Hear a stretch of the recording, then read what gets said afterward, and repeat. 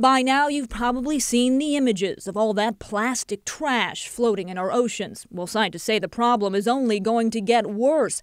According to the United Nations, if things don't change, by the year 2050, there will be more plastic in our oceans than fish. Um, so, you know what Easter is? And it's for that reason Reverend Joshua Kingsley is encouraging his church members to give up plastic for the 40 days of Lent. Uh, the purpose of the season is to look in the mirror and to look at adapting our life. The challenge is called Plastic Free Pilgrimage to Earth Day. Each day of Lent, participants are encouraged to give up a specific plastic item they would normally use. What kind of straws are we using? How are we storing our food? For example, today, participants are encouraged to give up single-use plastic bottles. Yeah, we have reusable water bottles as opposed to as opposed to disposable water bottles. Another day, they're encouraged to use reusable bags. Or there's the Ditch the Plastic Utensils Day. So there's an example of uh, cutlery that is made from a renewable resource.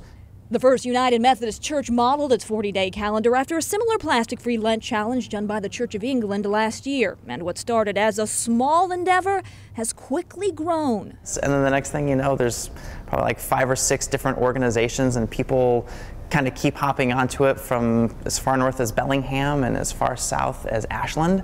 But because the world produces about 300 million tons of plastic every year, avoiding it is not easy. I'd be surprised if very many people get like an A plus on this thing. But that is part of this pilgrimage. You know, it's a chance to confront the ways that it's time to change. Yeah, some of the, the church points out anyone can take part in it, even those who don't traditionally observe Lent, like Leslie, who already jumped ahead to day 29 by buying a second-hand backpack. So I'm going to be reusing it, right? I'm going to be instead of buying a new one, I'm using this. And for those who do observe Lent, like Bob, before this year, I would give up alcohol. This year gives them a chance to try something new, not just to help themselves, but also to help our planet. I won't get everything done and I won't do everything all the time, but I think I will change in a dramatic way how I consume plastics. In southwest Portland, Keely Chalmers, KGW News.